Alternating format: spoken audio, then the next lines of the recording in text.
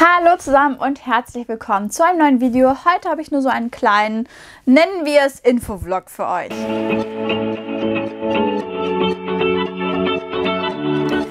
Ja, dieses Video entsteht jetzt relativ spontan. Ich hoffe, ich kriege das jetzt alles so erzählt, wie ich es erzählen möchte. Ihr dürft natürlich, wenn dann irgendwelche Fragen auftauchen sollten, gerne in den Kommentaren ein paar Fragen äußern. Ich werde sie dann so gut es geht beantworten. Ich habe mir jetzt kürzlich einfach so ein paar Gedanken über diesen ganzen Kanal hier gemacht. Noch dazu hat sich eine kleine Sache ergeben, die ich hier ähm, ändern möchte und ich dachte, ich erzähle euch jetzt einfach mal davon. Ähm, womit fange ich an? Fangen wir mal mit der Sache an, von der ich glaube, dass viele von euch sich darüber freuen werden, auf die ich mich auch einfach mega freue, die richtig toll werden könnte und ich bin echt einfach nur heiß darauf, damit loszulegen. Und zwar ist jetzt der Gedanke oder die Planung, dass ähm, mein Bruder Ferris fester Bestandteil dieses Kanals werden soll.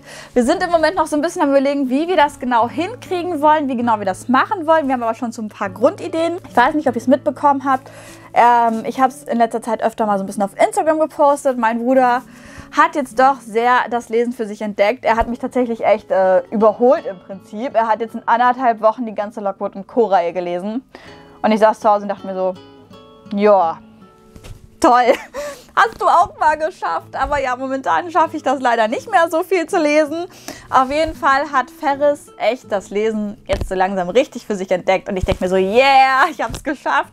Ich habe ihn äh, beeinflusst und er wird jetzt ein Book-Nerd, genauso wie wir alle. Und ich finde das richtig cool, mit ihm jetzt über Bücher reden zu können und dass ich ihn da echt zugekriegt habe, weil ich wusste immer, diese Bücher könnten was für ihn sein und es hat mich immer so geärgert, dass er dem keine Chance gegeben hat. Und jetzt hat er das aber und ist mittlerweile so richtig im Lesen drin.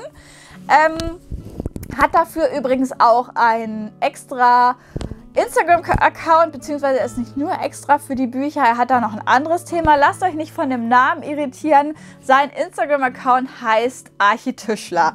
Das Ganze ist ein kleiner Insider. Er hat ja Tischler gelernt als Beruf und studiert jetzt Architektur und daraus wurde dann in einem lustigen Gruppenchat irgendwann Architischler. Und das hat er einfach übernommen, weil er es so lustig fand und weil es sich auf seinem Instagram-Account nicht, nicht nur um Bücher gehen soll, die er liest, sondern eben auch um sein Architekturstudium. Er vereint das so in einem Account. Aber ja, falls ihr neugierig seid, wie sich das bei ihm mit dem Lesen so entwickelt, könnt ihr ihm ja folgen. Er würde sich sicher gerne freuen. Er ist noch so dabei, sich da so reinzufuchsen mit Instagram, weil er das vorher nie wirklich genutzt. Ähm, ja, fängt aber eigentlich schon ganz gut an.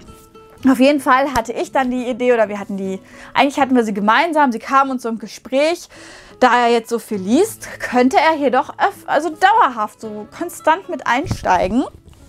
Er war ja schon öfter mal in einem Video dabei, hat äh, mir entweder assistiert oder mit mir eine Challenge gemacht und ähm, es gab ja auch mal ein Subvoting für ihn. Ja, da haben wir ja, glaube ich, dann Erebos gewählt, genau, das hat er auch gelesen. Beide Bände, er hat sogar zweimal gelesen. Also, oder war das Percy Jackson? Ich weiß gar nicht. Er liest Bücher tatsächlich zwei- und dreimal. Das ist echt krass geworden. Ähm, und ja, wir hatten damals schon drüber geredet, Mensch, wenn er mehr lesen würde, könnte er doch fester Bestandteil dieses Kanals werden. Aber es war dann ja immer noch nicht so.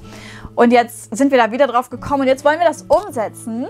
Und ähm, ja, wir sind noch ein bisschen am Tüfteln. Wie? Weil wir müssen uns ja immer zum Videos drehen treffen und durch meine Arbeit klappt das dann halt auch nicht immer. Für ihn ist es am besten am Wochenende. Ich arbeite jedes zweite Wochenende.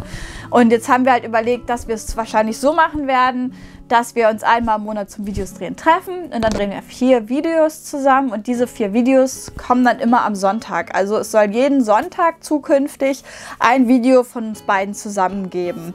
Ähm, wir sind noch am überlegen, was genau wir dann immer so drehen, weil es müssen natürlich Videos sein, die man entweder ja an dem Tag aktuell drehen kann oder die man eben vordrehen kann. Also ein Grundgedanke war zum Beispiel, dass wir uns immer am Monatsanfang treffen und dann ähm, den Monatsrückblick von dem Monat davor drehen. Dann kann Ferris seine gelesenen Bücher zeigen und ich meine.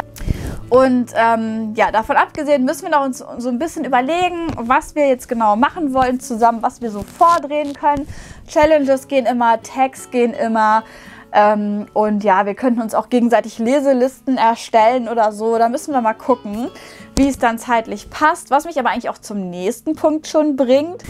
Ja, das ist alles momentan noch in der Planung. Ich wollte es euch trotzdem schon mal erzählen, dass ihr dann nicht überrumpelt seid, sage ich mal, wenn Ferris dann hier plötzlich äh, regelmäßig mit auftaucht. Beziehungsweise, wenn ihr dann das Intro seht, wir wollen uns nämlich auch ein Intro überlegen, wo er dann mit drin ist, speziell für diese Videos, dass er hier halt wirklich fest in diesen Kanal mit reinkommt. Und äh, ja, ich freue mich darauf. Das macht richtig Spaß, immer mit ihm zu drehen. Und von daher wird das sicher richtig, richtig schön sein, wenn das dann was Regelmäßiges ist. Wir treffen uns nächste Woche am Wochenende. Also ich weiß gar nicht, wann ihr diesen Vlog hier seht. Es ist der 20. oder 19. oder 20. müsste es sein, wo wir uns treffen. Da wollen wir zum einen ein Video zusammen drehen und zum anderen ähm, wollen wir auch eben einfach austüfteln, wie wir das in Zukunft machen, welche Videos da so kommen sollen. Und ja, dann geht's los. Ich bin schon sehr, sehr gespannt. Das wird sicher Spaß machen. Das ist so die eine Sache, die ich euch heute ankündigen wollte. Das zweite ist, ähm, ja, nicht direkt eine Ankündigung, sondern eher eine Überlegung von mir. Es soll sich auf meinem Kanal ein bisschen was ändern. Nicht direkt, was die Videos an sich angeht, sondern was ähm, das Zeitliche angeht. Äh, es ist ja nun mal so, dass meine Videos so ein bisschen starren Linien folgen, sage ich mal, so wie bei vielen anderen Booktubern auch. Am Monatsanfang gibt es die Leseliste, in der Monatsmitte gibt es das Currently Reading und dann, wenn der Monat vorbei ist, kommt dann bald der Lesemonat und die Neuzugänge und äh, zwischendurch kommen dann irgendwelche anderen Videos. Und ich habe vor kurzem für mich festgestellt, dass dieses, dieser Zeitplan für mich einfach nicht mehr so funktioniert. Das ging echt eine lange, lange Zeit richtig gut. Da hatte ich pünktlich am 15. oder notfalls auch mal am 16. mein Currently Reading fertig. Am 1. gab es die Leseliste und irgendwie eine Woche nach Monatsende gab es meinen Monatsrückblick. Mittlerweile funktioniert das für mich einfach nicht mehr, weil ich nicht mehr so oft zum Drehen komme. Und ähm, manchmal ist es dann zum Beispiel so, wenn ich dann Zeit und Lust habe zu drehen und denke mir so, boah, ich hätte, hätte jetzt voll Bock, eine Leseliste zu drehen. Wir haben aber erst irgendwie den, keine Ahnung, den 20. oder so, 10 Tage vor Monatsende, bevor der neue Monat anfängt, dann ist das wieder zu früh, weil in den 10 Tagen kann sich ja noch voll viel tun, da habe ich vielleicht auf ein anderes Buch Lust. Und ja, für ein Current Reading ist jetzt zu spät und das sind sowieso die Probleme, vor denen ich in letzter Zeit häufiger mal stand. Das halt zeitlich so hinzukriegen, dass ich in diesem Rahmen, den ich mir da irgendwann mal überlegt habe, bleibe und das dann auch so drehen zu können und dass es dann auch einfach aktuell ist, die, die Videos, weil ich die auch nicht so megamäßig vordrehen möchte. Und deswegen habe ich jetzt für mich entschieden, ich möchte das auf diesem Kanal ein bisschen auflösen, möchte das Ganze mehr spontaner machen und so, wie es eben gerade passt. Der Gedanke kam mir unter anderem durch den Vlog. Ich weiß nicht, ob ihr den gesehen habt. Ich habe am... Ähm, letzten Sonntag, ähm, als es hier so doll geschneit hat, einen Spaziergang gemacht und habe da einen neuen Vlog gestartet. Einfach ganz spontan. Ich wusste nicht, wird es jetzt ein Weekly-Vlog oder wird das nur für diesen einen Tag ein Vlog. Aber das hat mir richtig gut getan, eben weil ich nicht diese Vorgabe hatte, oh Gott, ich drehe jetzt einen Weekly-Vlog, ich muss dann, dann und dann die Tage jetzt vloggen, damit da ein vernünftiger Vlog zustande kommt, sondern ich habe einfach angefangen, wie ich Lust hatte. Und ähm, ja, am Ende war der Vlog nur für den Tag, aber es hat gereicht und hat mir halt total Spaß gemacht. Und irgendwie habe ich dann überlegt, wie ich das in Zukunft vielleicht häufiger mal so spontan hinkriegen könnte. Beziehungsweise wie ich das auf meinen Kanal generell übertragen könnte, weil ich einfach das Gefühl habe, dass das für mich besser klappt momentan. Und dann habe ich halt überlegt, okay, ich werde einfach diese starren Linien aus, auflösen. Genau. Heißt, die Videos, die ihr kennt, kommen trotzdem. Es wird trotzdem Current Readings geben und Leselisten und Neuzugänge-Videos, aber eben nicht mehr in diesen festen zeitlichen Abständen. Also ich habe zum Beispiel jetzt total Lust, eine Leseliste zusammenzustellen aus Büchern, die ich in nächster Zeit gerne lesen möchte. Aber eben nicht für den Februar oder für den März, sondern einfach so Bücher für die nächste Zeit, ohne genauen Zeitrahmen. Oder manchmal habe ich auch schon am 15. Lust, mein Neuzugänge-Video zu drehen, äh, weil sich hier schon 20 Bücher angestapelt haben. Das passiert mir tatsächlich öfter mal. Und dann denke ich immer so, nee, du musst ja noch warten, es könnte ja noch was kommen.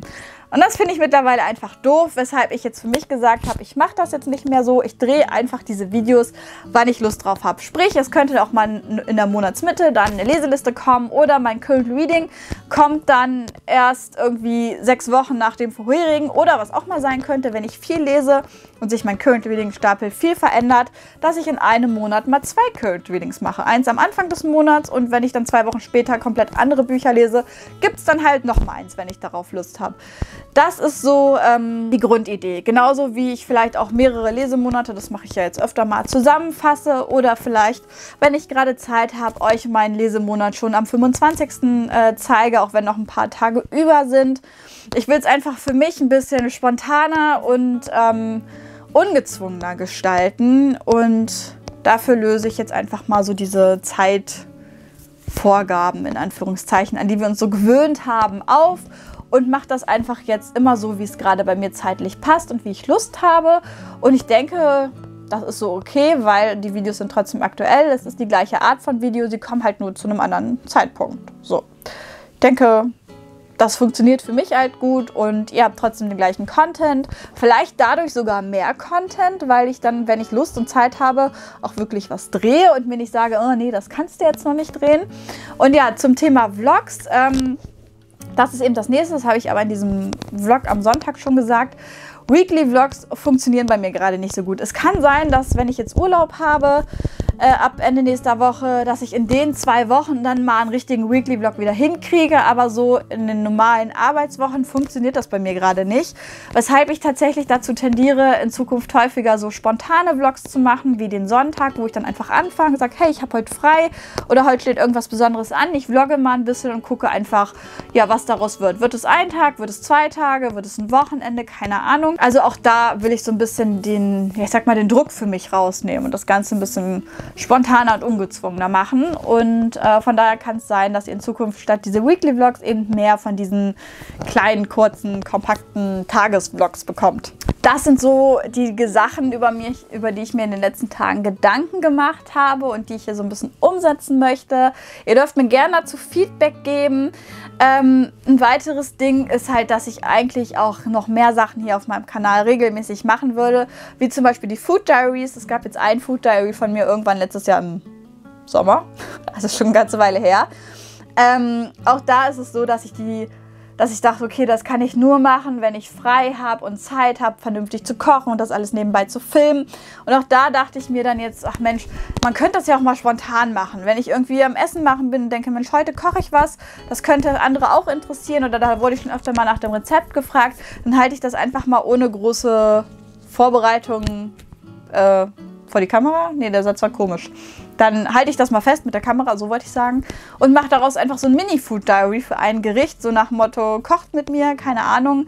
Statt mir da echt vorher Gedanken zu machen, für drei Tage mein Essen zu planen und das dann zu filmen, weil das ist halt auch etwas, was bei mir sehr schwer umsetzbar ist. Gleichzeitig ist es aber eben ein Format, was ich gerne regelmäßiger aufnehmen würde. Und ähm, ja, vielleicht äh, funktioniert auch das eher mit Spontanität statt so mit äh, starren Linien. Ja, ich bin gespannt, wie sich das entwickelt. Ich habe ja eigentlich echt immer richtig viele Ideen für meinen Kanal, was ich gerne noch so machen würde. Und es wurmt mich immer, dass ich da einfach zeitlich nicht zu komme. Aber ich denke, das könnte jetzt so ein erster Schritt sein für mich, dass ich da wieder so ja, nicht mehr reinkomme, aber vielleicht anders reinkomme, einen anderen Rhythmus für mich finde. Und das macht, finde ich, auch kreativer, wenn man sich dann von diesen ähm, Gewohnheiten löst und sich dann spontan andere Videos mal überlegt oder sich spontan denkt, okay, das ist jetzt zwar, oder ja, das dann zu einem anderen Zeitpunkt dreht und ja, dann ist man wieder freier und im Kopf freier und dementsprechend kreativer. Da ist der Druck raus und ja, das könnte was richtig Gutes geben. Schauen wir mal. Ich wollte diese Gedanken einfach mal mit euch teilen, damit ihr euch nicht wundert, wenn jetzt zum Beispiel zwei Current Readings in einem Monat kommen oder meine Leseliste erst am 12. kommt oder so, dann wisst ihr, was Sache ist. Wir versuchen hier einfach so ein bisschen mehr zur Spontanität und Ungezwungenheit zurückzukehren, damit das Ganze Spaß macht, damit es mir weiterhin Spaß macht und äh, damit es für mich auch einfach machbarer ist, ohne Zeitdruck und ohne so ein Gefühl, oh Gott, ich muss jetzt drehen. Das hatte ich nämlich auch ganz oft, dass ich mir irgendwie ein paar, Mon äh, ein paar Tage vor Monatsende dachte, oh Gott, du musst doch deine Leseliste drehen. Du hast gar keine Zeit, wann sollst du das machen? Das hatte ich echt tatsächlich in den letzten Monaten sehr oft solche Momente, wo ich immer dachte, ich muss, ich muss, ich muss. Und das ist nie das, was ich mit diesem Kanal wollte. Es sollte halt einfach nur Spaß machen. Und da möchte ich wieder ein bisschen mehr halt hin. Zurück, zurück zu den Wurzeln sozusagen. Ich hoffe, das ist für euch okay so. Ihr dürft gerne eure Gedanken da mit mir teilen. Ich hoffe, ihr freut euch auf die Videos mit Ferris. Ich bin da echt sehr, sehr gespannt drauf und hoffe, das klappt auch alles so, wie wir uns das vorstellen. Und ja, folgt ihm, wie gesagt, gerne auf Instagram. Da kriegt ihr dann zwischendurch auch mal so ein Leseupdate. Ich müsste ihm mal Goodreads zeigen. Fällt mir gerade so ein. Das muss ich noch nachholen. Und ähm, ja, dann war es das an dieser Stelle auch schon von mir. Ich wünsche euch noch einen wundervollen Tag, ganz viel Spaß beim Lesen und dann freue ich mich, wenn wir uns im nächsten Video wiedersehen. Bis dann. Tschüss.